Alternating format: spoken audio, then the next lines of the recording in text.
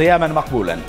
وطيس معركة منبج يشتد مع كل متر تخطوه قوات سوريا الديمقراطية باتجاه المدينة في ريف حلب الشرقي. إنها معركة تقاس بالأمتار وكل متر باتجاه تنظيم الدولة يحمل مفاجآت. حتى الآن لم تدر بين سوريا الديمقراطية وتنظيم الدولة المعركة الكبرى في المدينة. ما جرى ويجري انسحابات للتنظيم من ريف المدينة إلى داخلها. سرعت ربما تقدم سوريا الديمقراطية أكثر نحو حدود منبج. هذه المرة حدودها الغربية التي وصلتها قوات سوريا الديمقراطية بدعم جوي من التحالف الدولي. ما كان حتى الآن ما كان ليكون لولا التعاون الأمريكي مع تركيا في هذه المعركة. هذا ما قاله نائب وزير الخارجية الأمريكي الذي امتدح الدور التركي في المعركة. دور ما زالت معالمه ضبابية في منبج والشمال السوري عموما.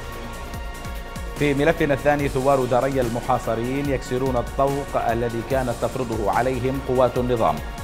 أسقطوا الحواجز قتلوا العناصر فتحوا طريقا لهم من داريا إلى جارتهم المحاصرة مدينة المعظمية. رد النظام على العملية كان بإمطار المدينة بالنيران من السماء لكن النتائج تحسم على الأرض. على الأرض شوكة. آلمت النظام منذ خمس سنوات في خاصرته الغربية من دمشق وما زالت وستبقى. وللحديث تتمه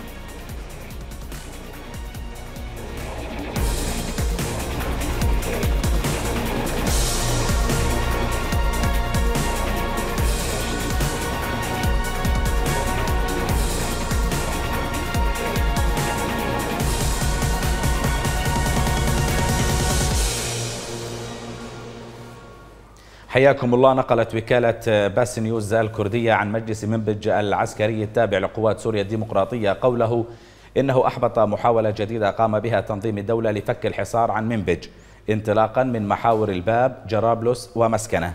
وسيطرت قوات سوريا الديمقراطية في الساعات الأخيرة على عدة قرى في الجهة الغربية لمدينة منبج. نذهب للتفاصيل.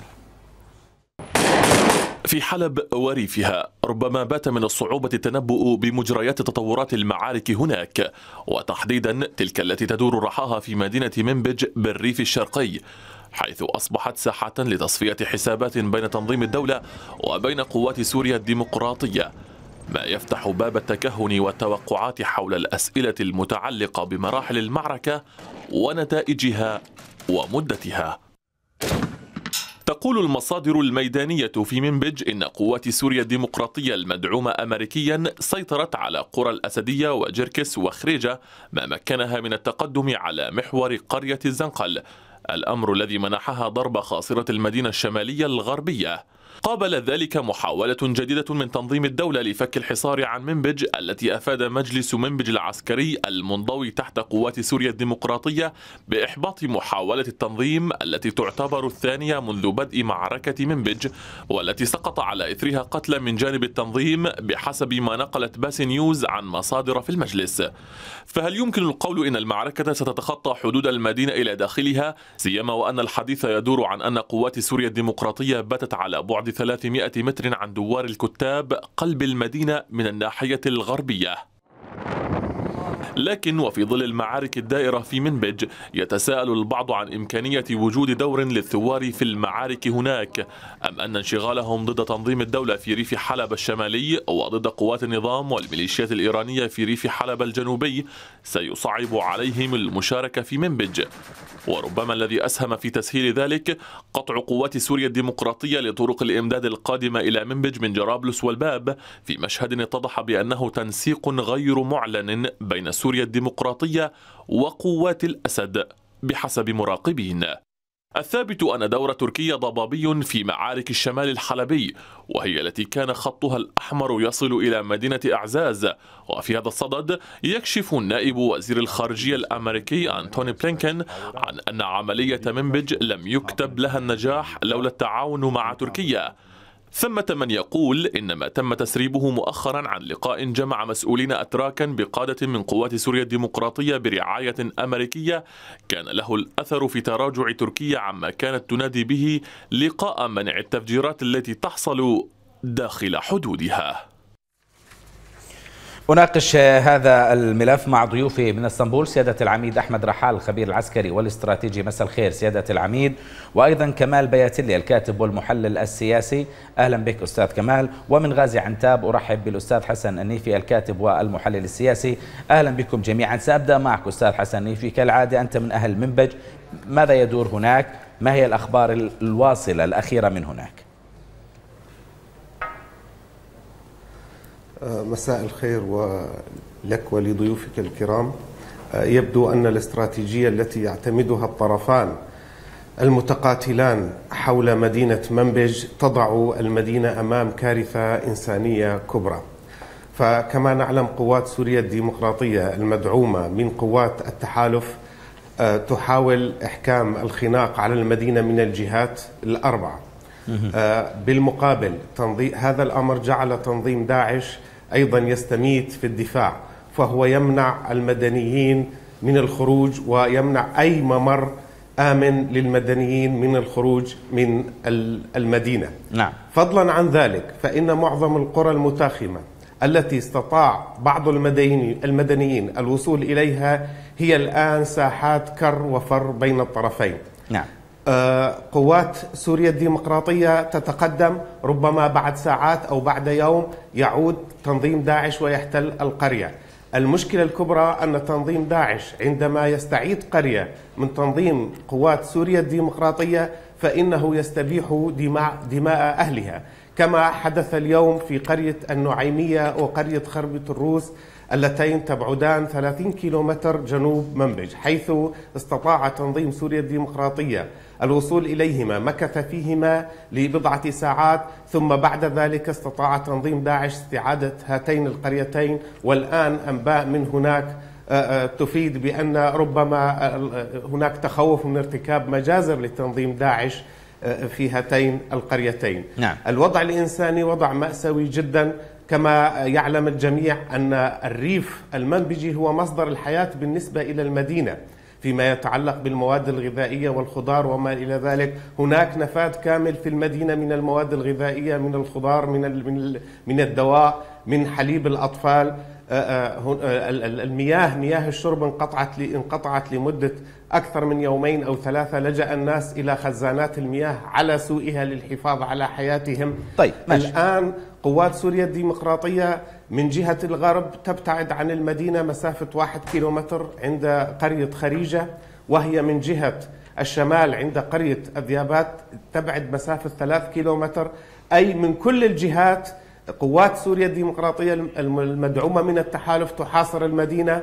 كذلك كلما ازداد الحصار كلما ازدادت قسوة تنظيم داعش على المدنيين. ماشي. طيب يعني هذا السؤال هذه النقاط التي ذكرتها. تقودني إلى سؤال لسيادة العميد الرحال. سيادة العميد طيب يعني إحنا بنسمع إنه بعيدة كيلوهات معدودة منذ أسابيع.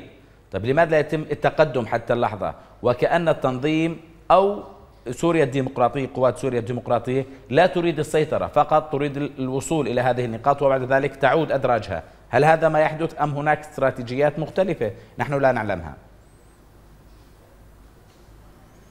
رمضان كريم على الجميع. علينا وعليك. بعيدا عن كل ما يروج عبر الإعلام أنا أعتقد أن المعركة الأساسية في مدينة منبج لم تبدأ بعد.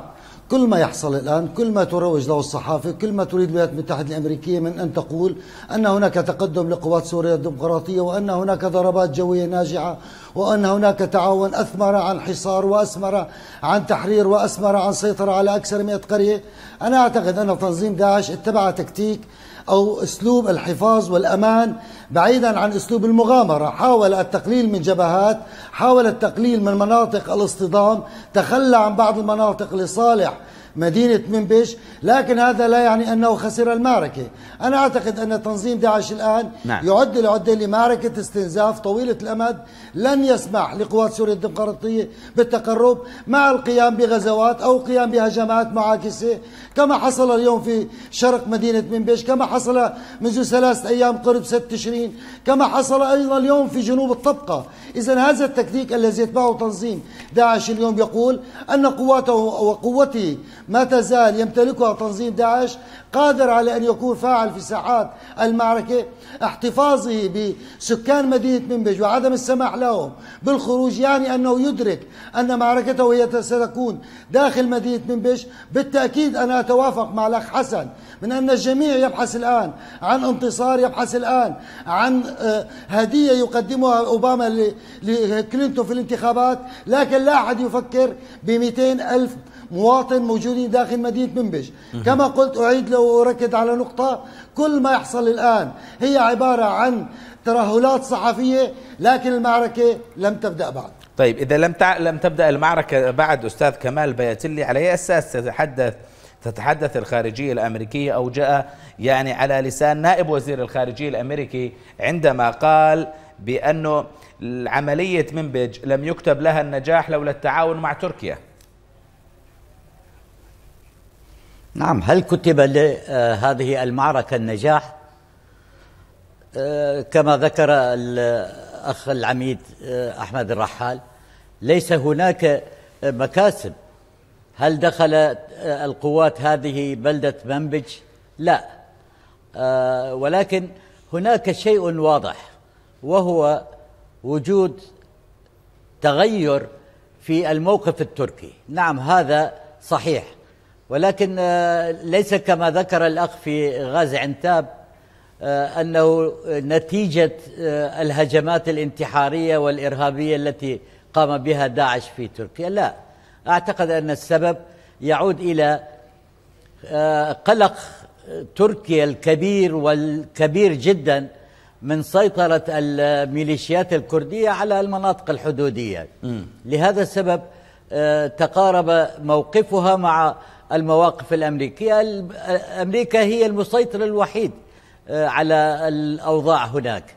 روسيا لها دور ثانوي بالنسبة لي. آه، الولايات المتحدة الأمريكية.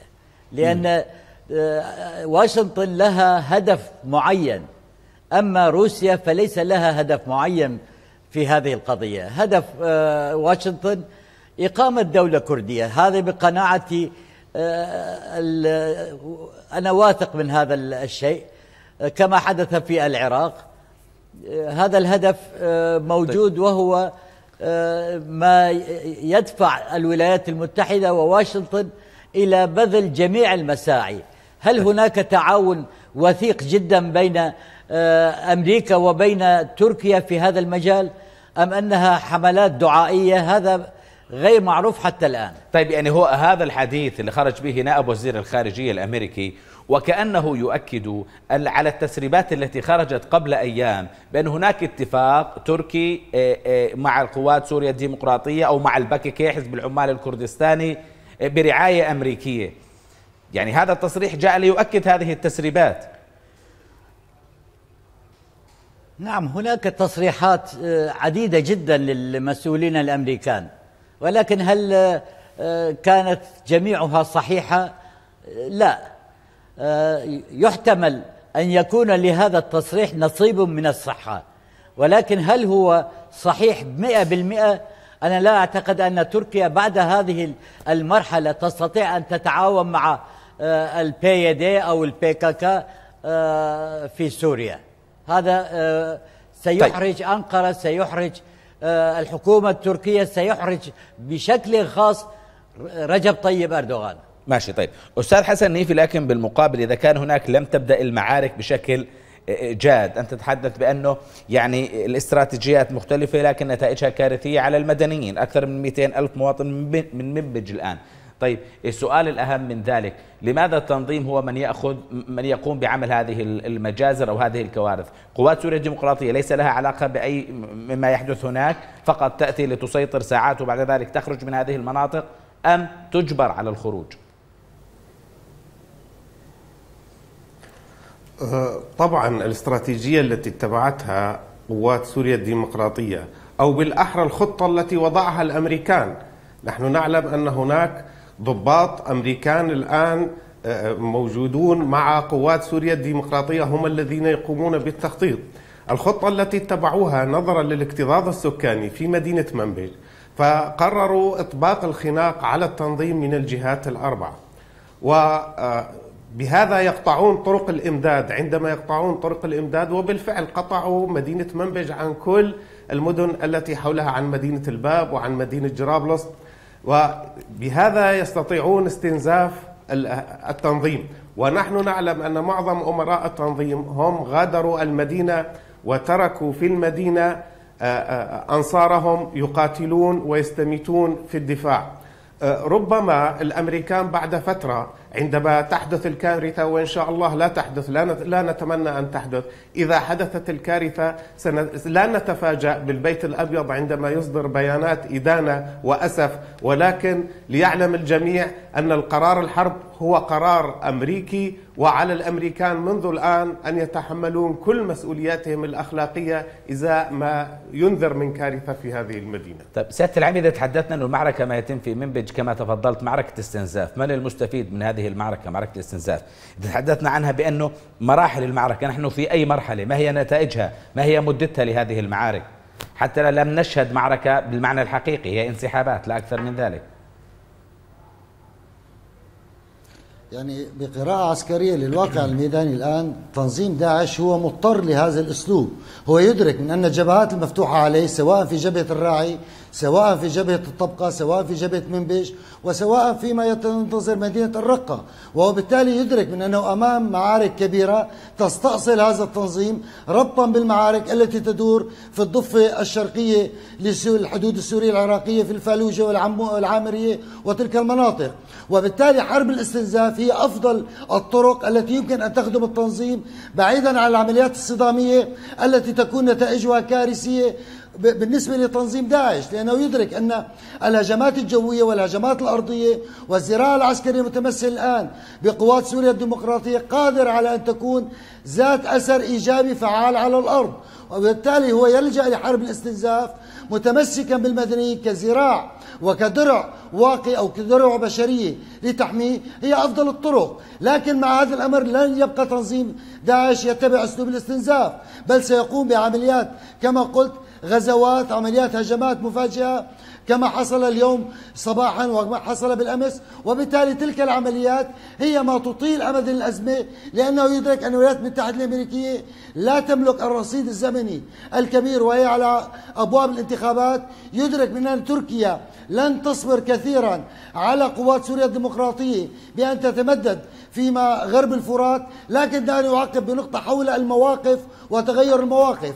أنا أعتقد أن التغير الموقف التركي كان عبر السكوت عما يحصل غرب الفرات. لكن علينا أيضا أن نلحظ من أن هناك تغيرات أيضا في الموقف الروسي وتغيرات في الموقف الأمريكي. الموقف الأمريكي الذي أصبح يستخدم لهجة سياسية وعسكرية لم نعهدها ما قبل آه، أسبوع تقريبا من الآن. كنا نسمع لغة مطاطة الآن نسمع لغة حازمة. بالأمس أحد المسؤولين الأمريكيين طالب بخروج القوات الروسية من سوريا. أيضا أصبحنا نملك نوع من المرونة الروسية في التعامل وخصوصا في إحجام الطيران الروسي عن دعم كل جبهات النظام وميليشيات إيران وحزب الله. إذا هذا التغير أعتقد أنه تناغم ما بين روسيا تناغم ما بين واشنطن وتناغم ما بين أنقرة وخصوصا مع أنباء تتحدث الآن عن احتمال عودة العلاقات ما بين أنقرة وموسكو. طيب إيه، إيه، أستاذ كمال يعني هناك غموض في الدور والموقف التركي مما يحصل في شمال سوريا. متى سيتضح هذا الغموض برأيك؟ كنا نتحدث عند وصول منبج الآن يصل سوريا الديمقراطية إلى منبج كل العالم في منبج طيب الغموض ما زال هو سيد الموقف بالنسبة للإدارة التركية. متى سيتضح هذا الغموض؟ متى سيكون هناك ردة فعل تركية سواء سياسية أو عسكرية؟ نعم أولا آه، تطورات القضية السورية لم يكن أحد يتوقعها عدا الدول الكبرى مدبري أو آه، واضعي هذه الخطط. الدول المنطقة تركيا السعودية دول الخليج لم تكن تتوقع مثل هذه التطورات المتسارعة والتي غيرت جميع آه، المعطيات في أرض المعركة. نعم. هناك قناعة بأن داعش سوف لن يستطيع الصمود في منبج بل سيتراجع. القلق التركي نابع كما قلت قبل قليل من استيلاء الميليشيات الكردية على منبج ومن ثم على جميع المناطق الحدودية. وهذا الذي يحدو بها إلى أن تغير مواقفها وأن تقترب من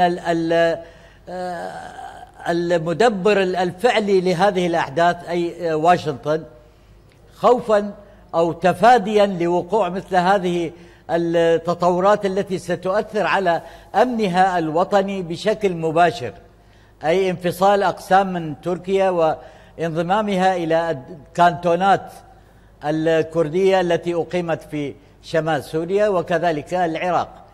آه، لهذا السبب متى سيتوضح الموقف التركي؟ الموقف التركي مرهون بالموقف الأمريكي. هل لدينا معطيات عن حقيقة الموقف الأمريكي لا. لهذا السبب آه، الموقف التركي سيتوضح بعد وضوح الموقف الأمريكي. يعني هو مرتبط بالموقف الأمريكي لا محال أستاذ كمال؟ نعم نعم مع الأسف الشديد. ليس هناك أي جهة تستطيع تركيا أن تعتمد عليها في أي مواجهة آه، في سوريا. طيب أستاذ حسن من هو آه، مجلس منبج العسكري؟ منهم ثوار. ماذا يقومون بالعمل به؟ وضح لنا إياهم أكثر. تقصد بذلك مجلس منبج العسكري الذي شكلته قوات سوريا الديمقراطية؟ نعم. هذا هو نعم نعم. هو من شكله قوات سوريا الديمقراطية. نعم. هذا نعم. نعم نعم. هذا المجلس هو عدد من أعضاء الجيش الحر الذين كانوا في مدينة منبج نعم. آه، آه، انتموا إلى قوات سوريا الديمقراطية أو استطاع استطاعت قوات سوريا الديمقراطية استمالتهم. هم الآن موجودون هناك يقاتلون مع قوات سوريا الديمقراطية. لكن هؤلاء كما تعلم آه، آه، هم ليسوا موضع قرار. يعني نحن نتمنى يعني مش قيادات. العناصر العربية ممن كانت تنتمي إلى الجيش نعم. ليسوا قيادات لا بالتأكيد. ولا يمثلون الطيف العام من الجيش الحر. طب على أي أساس تركيا تحدثت؟ الحر في مدينة منبج ماشي. طيب على أي أساس أنه تركيا تحدثت أنه القيادات الموجودة والمقاتلين الموجودين من منبج نعم. هم عرب؟ نعم, نعم. لتبرر لتبرر سكوتها. أنا أقول تركيا تريد أن تبرر هذا الموقف المتراجع فتقول وكلنا يعلم أن هذه التطعيمات التي جرت في بالنسبة لقوات سوريا الديمقراطية هي للتصدير الإعلامي. يعني يريد الأمريكان الذين اقترحوا هذه الفكرة أن يقولوا للمجتمع الدولي أن القوات التي تقاتل داعش وتريد أن تأتي وتسيطر على مدينة منبج هي ليست قوات سورية آه، كردية صرف. وإنما أيضا هناك جيش حر هناك أيضا قوات عربية موجودة. طيب السؤال أنت قلت لي أنهم استمالتهم. القيادات الجيش الحر كيف يعني؟ دفعوا لهم فلوس؟ لا أنا لا أقول ذلك ولكن ربما قناعاتهم يعني ربما قناعاتهم لأن الكثير منهم ينتمون إلى أصل كردي ويرون مشروعهم الحقيقي مع قوات سوريا الديمقراطية. فضلا عن ذلك هناك أيضا العديد من العناصر العربية التي تقاتل إلى جانبهم. فلا أقول أعطتهم فلوس ولا سوى ذلك طيب. وإنما هذا خيارهم وهم مسؤولون عن هذا الخيار. طيب يعني سوريا الديمقراط تحدث إنه تم الاتفاق بين سوريا الديمقراطية وبين مجلس منبج العسكري بحيث إنه لما يستطيعوا إنه يفرغوا المدينة من تنظيم الدولة مجلس منبج العسكري هو اللي يستلم هذه المنطقة. تؤيد ذلك أم إنه لا. مجلس منبج العسكري أعتقد ليس لديه الكفاءة لإدارة هذه المدينة. المدينة كانت مدارة قبل ما يأتي تنظيم داعش ويحتلوها من قبل مجلس محلي مدني فيه كفاءات وفيه خبرات كانت تدير المدينة وكانت منبج نموذج للحياة المدنية تحررت وحافظت على كل كيانات ومؤسسات الدولة ولم يتم فيها عمليات سلب ونهب كما في غيرها. الآن المجلس العسكري الذي تم تشكيله من قبل حزب الاتحاد الديمقراطي هذا المجلس لا أعتقد أنه المؤهل الحقيقي ولا يحمل الكفاءات الحقيقية لإدارة المدينة طيب سيادة العميد وين دور النظام المنبج؟ يعني مدينة منبج أعتقد أن النظام يشارك فيها لكن دعني أعقب نقطة حول موضوع قوات سوريا الديمقراطية ومجلس منبج العسكري والقوات العربية والعشائر تفضل. دعنا نستخدم قوات سوريا الديمقراطية التي تعني كل من هم أكراد ويشكلون حوالي 80% وأما العرب والسريان والاشوريين والعشائر والمن انشق من الجيش الحر جميعهم لا يختلفون عن قوات سوريا الديمقراطية. طالما أنهم يؤمنون بمشروع صالح مسلم طالما أنهم يؤمنون بتوافقات صالح مسلم مع النظام وبالتالي لا فرق بين العربي الموجود داخل هذا التحالف وبين العشائري وبين السرياني وبين الكردي. طالما أنهم جميعهم ضمن أكيد جندة واحدة. لكن دعنا ننطلق إلى نقطة ثانية. وأنا أعتقد أنها لحظة مفصلية بالنسبة لصالح مسلم يعني أنا أعتقد أنه الآن الشمال السوري على فوهة بركان متفجر لأنه حتى لو انسحبت قوات سوريا الديمقراطية وحررت مدينة منبج وانسحبت منها فمن سيسيطر على منبج لن يكون غير قوات صالح مسلم نفسها ولأنهم حلفائها ولكن صالح مسلم الآن يمتلك لحظة مفصلية فيما لو أراد أن ينزع فتيل هذه الفتنة وأن يعود إلى حاضنته الشعبية من فك الارتباط مع نظام الأسد من فك الارتباط أو يعني إلغاء كانتون الكردي وفكرة إنشاء وطن كردي والعودة إلى صفوف الثورة السورية. أعتقد في تلك اللحظة سيكون هناك عملية انسجام ما بين جيش الحر المتقدم من مارع والمتقدم باتجاه بلدة الراعي من إعزاز وبين قوات سوريا الديمقراطية المتقدمة الآن باتجاه منبج لتحرير الباب ولتحرير مدينة منبج والانطلاق نحو الطبقة والرقة وبالتالي عودة المكون الكردي إلى حاضنته الشعبية والاعتماد على سوريا للجميع مع حفاظ الحقوق المشروعة والمعروفة بالنسبة لأخواننا الكرد أما أين دور النظام؟ أعتقد أن النظام حتى الآن هو يقاتل بالإنابة بقوات سوريا الديمقراطية لأنه يعتقد بأن تقدمه إلى الطبقة وتقدم داعش إلى منبج ستعيد منبج والرقة والطبقة إلى حاضنة الرقة مستقبلا وسيكون مصير تلك المنطقة كمصير قوات سوريا الديمقراطية والنظام في القامشلي والحسك. طب أستاذ كمال بالتالي تدرك تركيا بأن النظام الآن هو بالتنسيق الكامل مع قوات سوريا الديمقراطية. أعتذر. أكبر دليل على ذلك بأن أحد القيادات الكردية قالها صراحة نحن نرحب بقوات بشار الأسد التي تقاتل تنظيم الدولة. إذا هي موجودة في منبج. تركيا تعلم ذلك جيدا لكنها لا تتحرك من جديد. هل أكرر السؤال ربما هل ستستمر الغموض التركي حتى نرى وضوح الاستراتيجية الأمريكية أم ستغرد منفردة خارج السرب؟ ست يعني ربما ستستغل الانتخابات الأمريكية لتقوم ما تريد به. لا أعتقد أن آه، قدرة تركيا أو الدول الأخرى المساندة للثورة السورية تستند على الانتخابات الأمريكية، لا هذا أمر بعيد. الآن هناك خطر داهم في المنطقة هي خطر آه، النظام الأسدي وكذلك آه، هدف إنشاء دولة كردية ستلتهم جزء كبير من سوريا. وهذه ستؤثر على دول المنطقة بكاملها. شوف الآن بدأنا نتحدث عن آه، توسع وانتشار وسيطرة الميليشيات الكردية على المناطق. لم نعد نتحدث عن آه، تحرير آه، هذه المناطق من قبل المعارضة السورية. أي أن هناك حقائق على أرض الواقع على أرض المعركة. مع الأسف الجانب الآخر هو الذي يحرز تقدما. نعم. ونحن مضطرون نحن عندما أقول تركيا مضطرة لأنها بقيت وحيدة مع أن الخطر الأكبر موجه إلى تركيا. موجه إلى تركيا طبعا مع سوريا. آه، عدم وضوح الموقف الأمريكي رغم التعهدات والضمانات التي قدمتها واشنطن حتى اليوم كما ذكرتم قبل قليل مسؤول كردي ذكر أنهم يرحبون بالتعاون مع قوات النظام السوري صحيح. وهذا التعاون لم ينقطع حتى اليوم. نعم. كان هناك آه، تعاون وثيق بين الميليشيات الكردية وبين النظام السوري. هذا أمر معروف. آه، النظام السوري تخلى عن شمال سوريا بمحض رغبته.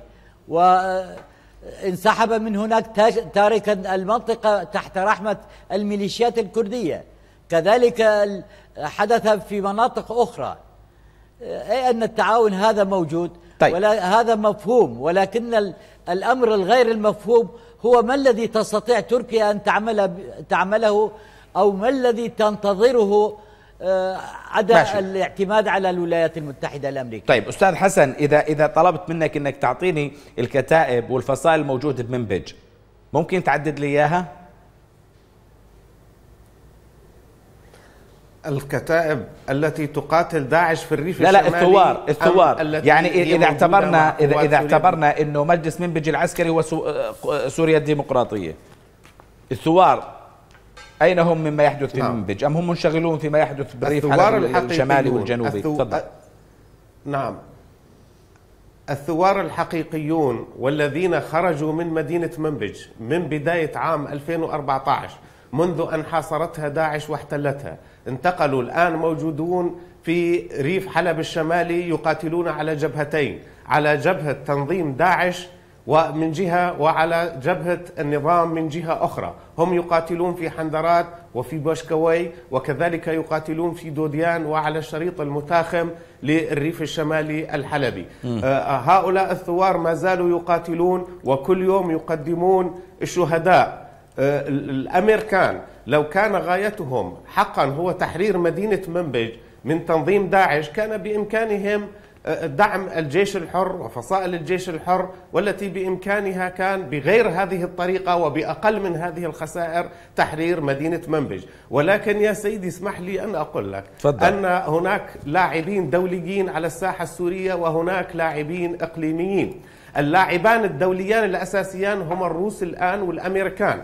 وفي موازاة التوغل الروسي في سوريا الآن بدأ الأمريكان يفكرون في وضع يدهم على الشمال السوري. وكما قلت سابقا هناك الآن مشروع قاعدة أمريكية في عرب كوباني وهناك مشروع قاعدة أمريكية في ست تشرين الأمريكان يريدون السيطرة على الشمال السوري.